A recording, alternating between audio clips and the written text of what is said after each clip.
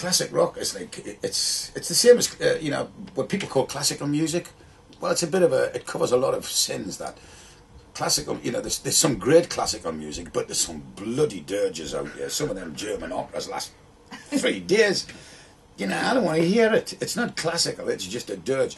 And with classic rock, it's it's stuff that it stays with you as you're growing older and sometimes even gets better as you grow older when you understand it more or whatever. You know, you don't have to bang your head up and down all the time. You can enjoy it just by sitting driving in your car and you get a big smile on your face. That's classic rock. It,